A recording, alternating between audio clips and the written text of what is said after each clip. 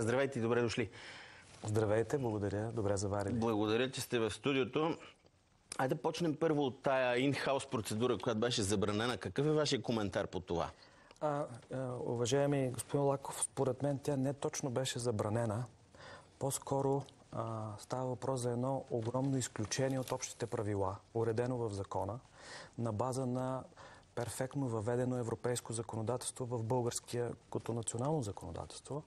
А, министър на финансите, доколкото аз съм запознат, без да съм абсолютно тесен специалист по темата, просто е, дал, е издал или е препоръчал издаването от Агенцията по а, обществени поръчки на едни методически указания, които трябва да кажат как трябва да се прилагат тези нормативни разпоредби.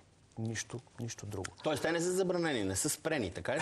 А всъщност, а, много добре в методическите указания, които са, са нещо като те не са точно под законов нормативен акт, по-скоро имат инструктивен характер, са изяснени точните хипотези, в които можем да имаме такова вътрешно ин-хаус възлагане. Просто защото българските власти, българските управници са си позволили твърде свободно и разширително да прилагат тези изключения. Ема до сега не е имало конкретно описание на хипотезите, при които може да се прилага това нещо. Ами, така е, но то няма и нужда. Законът е доста ясен и точен. И той казва, в случаите, когато в рамките на една, на една публична институция, която има качеството на възложител по силата на закона, има вътрешен капацитет, има друга агенция или друга служба, която разполага с всички необходими ресурси да изпълни в някакъв сектор, да изпълни някакви дейности, то Европейската комисия и оттам и българската държава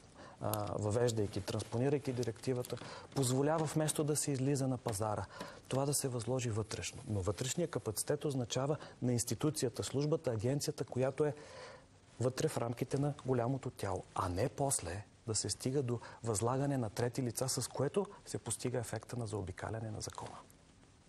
Идеята, всъщност, първо, идеята на обществените поръчки, някъде наречени държавни поръчки, е когато се разходва публичен ресурс, да се излезе на свободния пазар и на чисто конкурентна основа, да се избере най-добрия доставчик на една стока. Да, да, в България това нещо не сработва. И вие знаете много добре за какво говоря. Има безброй много случаи, в които се пише обществена поръчка, например, за закупуване на автомобили и вътре в характеристиките се слагат до такава степен детайли, които са характерни само за една конкретна марка и модел – че е ясно, че всъщност само, само тая марка може да бъде да, мине, да мине през, през условието. Да, вие, вие просто посочвате друг, друг пример, друг вид Това се правеше често до момента. Така. И аз случай... не говоря само за последното, преди това се прави от години. Така е, така е. Това е, това е друг вид злоупотреба с закона. Друг вид това си е просто класика в жанра. Да. да. В случая обаче става въпрос за нещо по, много по-сериозно. Изключение, изключение от общите правила, които казват, публичните ресурси трябва да се разходват по максимално прозрачен и конкурентен начин. Изключението е, когато имаме вътрешен капацитет. Ние го превръщаме в схема. Схема, при която, чрез която държавата разходва изключително огромен ресурс в полза на избрани от нея субекти. И изрично е казано в закона, има го и в методическите указания, че тези вътрешни дружества трябва сами да притежават капацитет. Те да изпълняват и в тях в много редки случаи трябва да имат частно участие. Те трябва да са публични. Без искам да влизаме в а, чисто юридическа конкретика, но какво означава дружеството да има вътрешен капацитет? Как се доказва този капацитет? Ами, капацитета се, се доказва с бекграунда, с историята на тази вътрешна служба, агенция, министерство, изпълнителна агенция и така нататък. С, с това, че в един сектор то, това, тази служба, това юридическо лице, тази вътрешно-административна структура е най-добрата. Тя наблюдава този сектор. Има необходимите човешки ресурси, има необходимите познания знае полето на действие, познава а, сферата, в която трябва да се извършват тези дейности и тези услуги. Тогава защо да отиваме навън да търсим други, като знаем, че най-добрият изпълнител е нашия вътрешния. По този начин. Тя тая хипотеза си е на лице, тя я има и е нормална. Да, но в случая какво, какво става на практика? Ние създаваме едно изкуствено еднолично акционерно дружество 100%, защото закона и указанията изискват 80%, 100% собственост на държавата. Наливаме публичния ресурс в това еднолично акционерно дружество собственост на държавата, то обаче няма капацитет. То няма нито техниката, достатъчно техника, нито материалите. То не разполага и с достатъчен човешки ресурс, не разполага и с достатъчно ноу-хау. То е единственото нещо, което има е една юридическа регистрация. Има една, има една куха юридическа структура, в която минават парите. От тук нататъка процедурата, образно казано, е приключила. Инхауса е сработил. След което тя на абсолютно неконкурентен принцип, непрозрачен и избира няколко фирми, на които подвъзлага.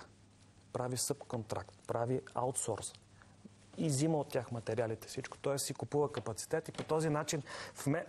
По този начин се обикаля цялото законодателство, защото ако е била целта така в крайна сметка ресурсите да стигнат до тези трети лица доставчици, то това е трябвало да стане по линия на закона за обществените поръчки. Т.е. директно да си ги поръчаме да си, ги, да си потърсим офертите на тези фирми, а не да минаваме през една схемичка с едно дружество. Ние сме царе в това да откриваме вратички нали, а, в закона, които да, да, да позволяват процедури, които на практика и де юре не са незаконни, но не са а, честни, морални, справедливи спрямо обществото и така нататък. Вие почти го казахте юридически. Това е за обикаляне на закона или злоупотреба с право? Добре, означава ли това, че самото законодателство е несъвършено и трябва да бъде променено някъде нещо? Или означава друго? Не означава, според мене, законодателството направих си труда, понеже така се занимавам сериозно и с право на Европейски съюз, направих си труда да видя как точно текста на директивите, които са били въведени по надлежен ред в българското законодателство и видях, че текстовете са въведени правилно. Знаете ли, в Европейския съюз, когато са въвеждали тези изключенията... Нали... И какво европейците не могат да се сетят как да надхитрят, не, просто, как да прецакат системата в Европа? Там просто няма такъв умисъл. Изобщо не може на управляващите да им стигне до мозъка, до мисълта, че това може да се използва като една много сериозна вратичка за заобикаляне на целия public procurement механизъм. Там знаете ли от какво са се притеснявали европейците, когато са го въвеждали, има такива леки нюанси в българското законодателство. Притеснявали са се от това, че при един инхаус възлагане, ако става въпрос за вътрешна публична второстеп, второстепенна администрация или институция, тя, ако бъде натоварена с изпълнение на конкретните услуги по вътрешното възлагане, има риск да се отклони от своята същинска дейност, т.е. да не продължи в пълен капацитет да предоставя типичните за нейната дейност публични услуги, изпълнявайки конкретно възложеното нещо. И там пише така, инхаус е допустим в тези тези хипотези, в такива и такива случаи, стига това дружество да отговаря на тези критерии и не на последно място да не го отклонява, да я въртва така, да не, го, да не му пречи да извършва основната си дейност по предоставяне на публични услуги. На никой не е му и минавало през акъла, както се казва, извинявам се, ако звучи грубо, че това в една държава като България ще се използва за изграждането на една схемичка, при която ние си създаваме кухата държавна публична структура. Тя поема ресурсите, след което ги раздава на който прецени без никакъв подбор. И другото, целта на всичко това е да се пестат ресурси. Тоест, в крайна сметка да се докаже ефикасност и да се каже, ако ние бяхме го направили по нормалния ред, щеше да има такива и такива разходи. Ние го направихме, като възложихме на най-добрата публична институция. И спестихме толкова и, и толкова. такива, да. да. да. В случая обаче ние виждаме нещо съвсем различно. Напротив, ефект, ефикасността е сведена до, до, до минимум. Значи нарушили сме конкуренцията, нарушили сме закона за обществените поръчки и в крайна сметка не сме постигнали резултатите, прилагайки Да, да, ма де юре не сме ги нарушили. Де юре не сме, обаче ако някой тръгне да ги поручва нещата както трябва и види, че има една постоянна повторяемост, види как просто това е използвано за постигане нали, с законни средства, постигане на неправомерни, не, не, недопустими от закона цели. Това е за обикаляне на закона. Да не кажем, че в случая при огромните ресурси може да се стигне и до някои по-сериозни нарушения, някои от които дори са записани в наказателния кодек, които т.е. са криминализирани в случаи на безстопанственост, случаи на... Добре, да ви върна там, откъдето тръгнахме. тая практика на инхаус възлагането в момента прекратена ли е или не е прекратена? Или са доизяснени хипотезите, при които може да се използва? Всъщност какво? В смисъл, има едно много ясно на четири страници методическо указание, което просто разтълкува. Нормално дава едно тълкование ново. на разпоредбите. Да, сравнително. Сега е написано. От 9 юли Да. ако, ако е точно а, това, което съм ви- видял в интернет, от този месец методическо указание как трябва да се прилага. Естествено, че вече при тези разяснения, при так- така дадените детайлизации на нормативната уредба, това вече няма И да е... каква тежест има това методическо разяснение? Ами, пак ви казвам, то не е То правно... има ли тежест на юридически? То не е правно обвързващо в Да. истинския смисъл. Тоест, на чисто теоретична основа ние може да кажем, това не е закон, нали? Но той е инструктивен характер, но то всъщност показва от тук нататък как, как трябва да се действа. А тези документи, Е, да, методически... да, ма ние вече се уточнихме с вас, че в България има други практики по принцип. Да, значи това са насоки, които ще бъдат задължителни и трябва да се спазват. И нали, чест им прави на сегашните момчета в служебното правителство, както и на финансовия, и на економическия министр, това, че наистина се опитват с всички усилия да прекратят подобни практики, които в смисъл ние пак ставаме уникални. Добре, Надявам се, че инхаус процедурата я изяснихме. Кажете ми какво става вашето основно поле на действие. Вие сте председател на Центъра за оценка на въздействие на законодателството. Имате ли примери в последни месеци или години или в последно време, откакто не сте ми гостувал в студиото? Това е преди 2-3 години, било може би 4, не знам точно. В които отново не се прави оценка на въздействието на, на промени в законодателството и се случват понякога дори комични неща. А, всъщност това е нашата основна тема и по, по повод на тази тема ние последно се виждахме с вас, прав сте преди 3-4 3-4 години. Даже тогава вие се изненадохте, че въобще е в ход регулаторна реформа в България. Тя е в ход от а, ноември месец 2016 година. Сега е доста така подходящ, да не кажа емблематичен момент, в който се виждаме отново, защото ние сме на прага на отбелязването на първите 5 години. А вие знаете, че България е Една в такава реформа, колко време обичайно трябва да се проточи? Обичайно една, така регулаторна, реф- една такава реформа, ако работи както трябва, сега на петата годишна, на първата петилетка от миналото или на първия пет годишен семестър, европейски казано, би следвало да отчете едни много сериозни резултати и да каже, след пет години нашето законодателство стана много предвидимо, много солидно, много обективно обосновано, базирано на данни и доказателства, а не на субективни мотиви. Ние се наредихме на еди какво си, еди какво си място по качество на законодателството. Разрешихме големия проблем, свързан с лобистките промени. Прекратихме всички лоши практики, свързани с писане на закони на, на, на коляно, както се казва. От начина по който го казвате, оставам с впечатлението, че не сме близо до това. Ами, ние, да, на петата година, по принцип, правим, а, правим един общ така обзор. Ще направим една голяма така последваща оценка, да видим пет години регулаторна реформа в България, резултати, перспективи и така нататък.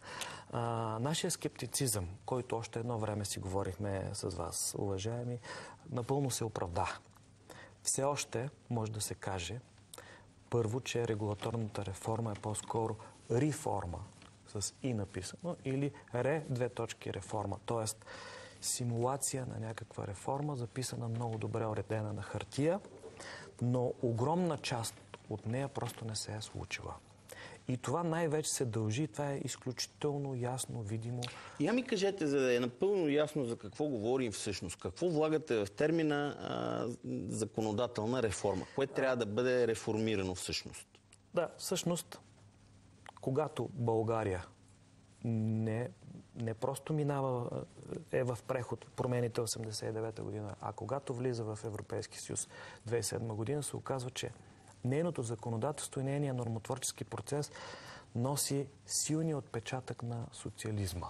Тоест, улиса на българската държава да хармонизира своето законодателство, забравя да, да европеизира най-важното си законодателство. Законите основно, относно законите.